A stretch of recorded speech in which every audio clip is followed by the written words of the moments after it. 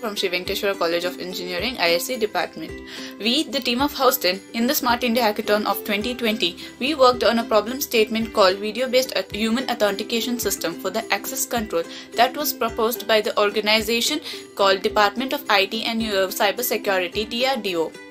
The SIH 2020, the first day of it was a mentoring session, which was a very great day or a great session that gave, gave us a very good inputs for the basic idea we presented in front of all the mentors in the mentoring session. The mentoring, all the inputs given by the mentoring session was so helpful for us to in, in order to develop a product to a next level.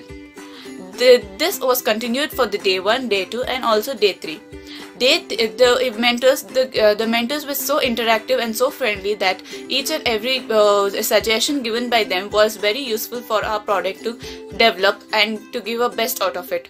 Each and every mentoring session the inputs were given which was given was being implemented by our team for every evaluation uh, evaluation uh, sessions for all the 3 days. Our team is very uh, our team is very thankful for all the uh, for all the mentors and the evaluators in the SIH. I thank MHRDA and AICTE for this uh, for this uh, huge platform for the students that they are providing.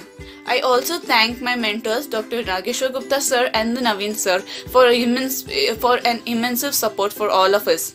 Also thanks Sri Venkateshwara College of Engineering, our principal sir, Dr. Suresha sir and also our HOD ma'am, Dr. Shobha ma'am for their immense support and their valuable words during SIH. I thank each and everyone who involved in this and made it, uh, made it to success. Thank you everyone.